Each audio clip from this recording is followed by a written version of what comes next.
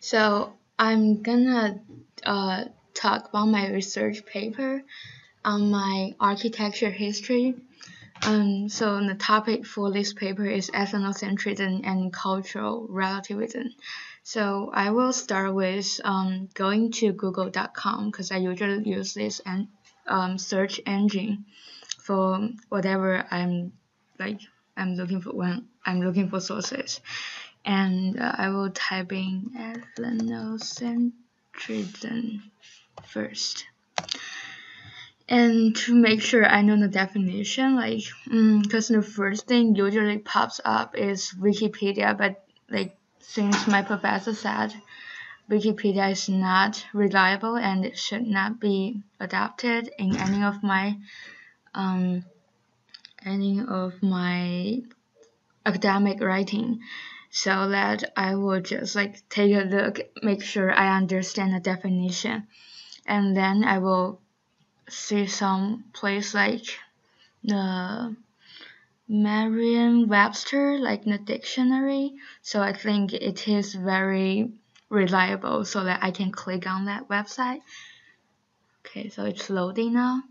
Um, so ethnocentric in this dictionary means having a based on the idea that you your uh, your own group or culture is better or more important than others. So now I understand the basic concept. Okay, so for other sources, I'm looking for my paper. So I'm gonna talking about um, that when uh, in the 16th century when Europeans came to the United uh, the North America and how they kind of like forced upon the Native Americans and um, and like because they think their culture was much more advanced than others. So I will type in the keyword as um, European. Oh wait, it it should be colonial colonial time yeah colonial period. So that and then I will I found a website that is reliable here. Um yeah it, it says it's a scholastic.com so I think I will evaluate that when I click on it. Um and um, so okay I didn't know this web if this website is reliable or not so I will change one hmm. oh okay so I found a history I found history.com so I think this is one of the most reliable sources I can use for my paper. So I will go to this website and evaluate all the information they provided. Um, so I think I found the history background I need here. So I will save this website for later on when I'm actually writing my paper. And then I'm looking for an example of architecture I need to use in my paper, which is called Kiva. Um, it was a spiritual room or something like that, like sort of like church for Christianity, like for Native Americans. So I will type in the Kiva as my keyword and um, in Google, yeah. So and yeah when I just type in the keyword it doesn't really give me the information I need. So I will put more keywords to identify what I actually want. Um, for this part I will say um, Native American.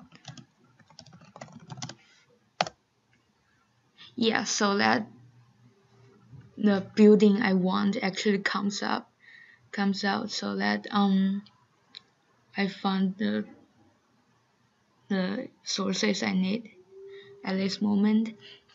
And also I will go to um, my university library base um, database because it's more reliable than other sort uh, searching engines.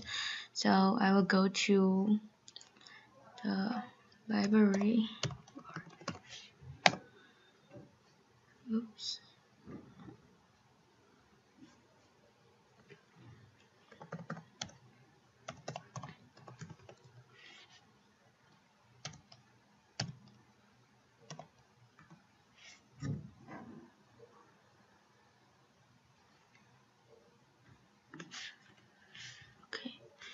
So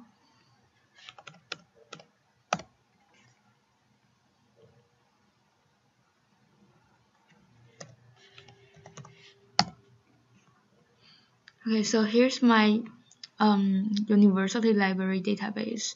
And uh, first thing I will type in is still ethnocentrism.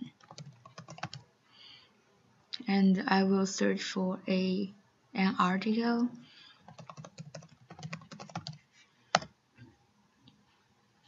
And like I will click on scholar, scholarly reviewed just to make sure everything I found is reliable and I can use them afterwards. Okay, so I found that the sources I found is too general so that it doesn't really go with my paper. So I will put um, I will type in another keyword as culture. Okay, so that it narrows down my topic and the sources. I don't need to read that much to find what I need. Okay, so and this is another website I use. And so for um I'm using the third one and last website I use is TED Talk. So I usually go to the TED website because they have different sources and I think they are very reliable. Um, so, and I actually find something really useful for my paper this time at TED and I think I typed in ethnocentrism again and um, I can see some pages about this topic in the TED website. And that is all the sources and websites I used for my architecture history paper this time. And I think um, when you read it, um, I just need to, I just make sure that the website I went to are reliable and like that I'm uh I just need to make sure that all the websites I went to are allowed to use in my paper so that um yeah so I think my paper will be reliable too. It gives me some credibility as a as an author too. And yeah I think that's it for my architecture history paper. Thank you.